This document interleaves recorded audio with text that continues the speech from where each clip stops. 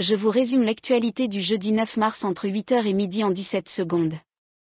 En direct, grève du 9 mars, suivez la mobilisation des étudiants contre la réforme des retraites.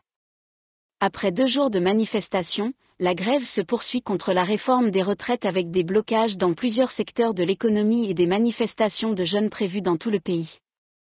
Pour ne rien manquer de l'actualité quotidienne, abonnez-vous à ma chaîne.